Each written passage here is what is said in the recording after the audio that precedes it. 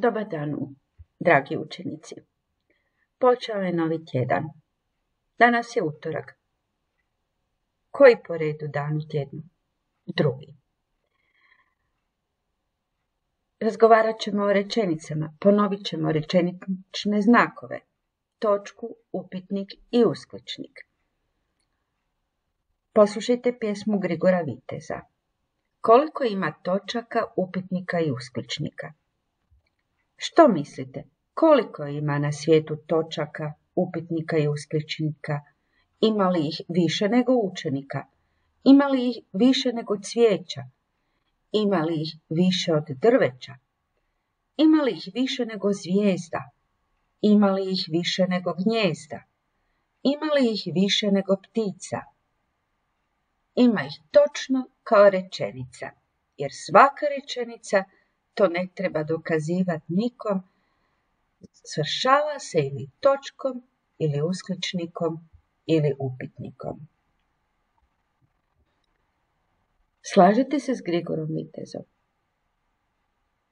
Da, jer koliko ima rečenica, toliko ima i rečeničnih znakova.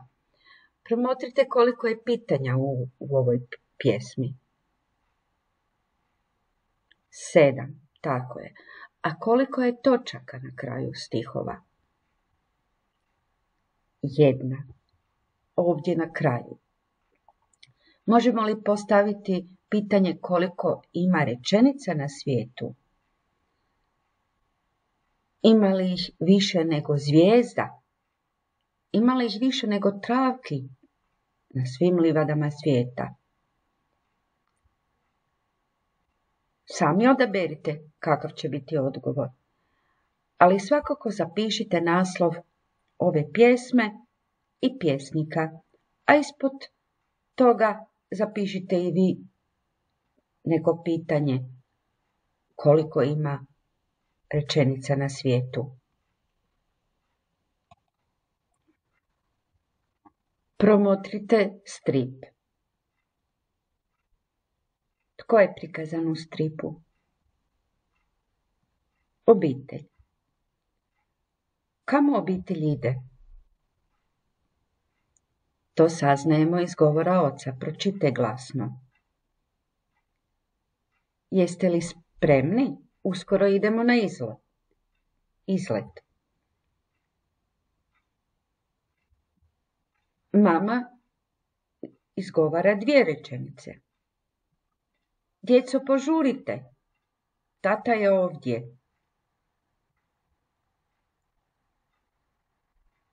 Usklična rečenica. Dječak viče. Dolazim. Ali pita. Mama, gdje su moje tenisice? Promotrimo koliko je ovdje upitnih rečenica. Pročitaj još jednom oblačiće. Dvije. A koliko je uskličnih rečenica? Dvije. I zapamtimo, na kraju rečenice pišemo točku, upitnik ili uskličnik.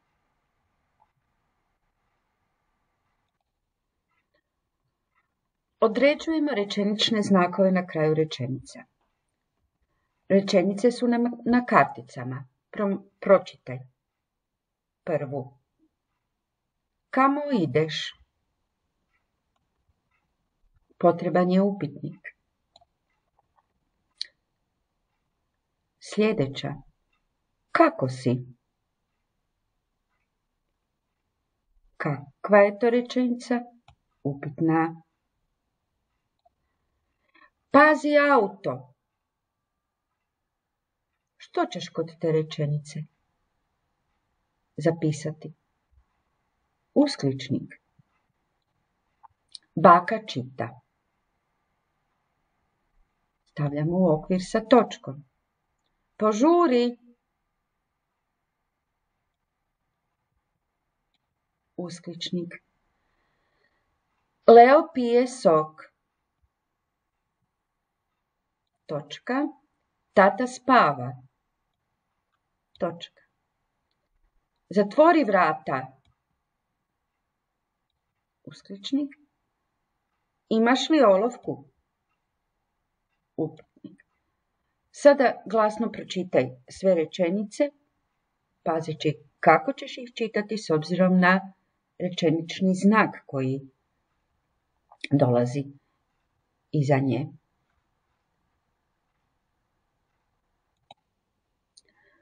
Promotri ove rečenice. Redoslijed riječi u njima nije dobro posložen. Za zadaću napiši te riječi točnim redoslijedom.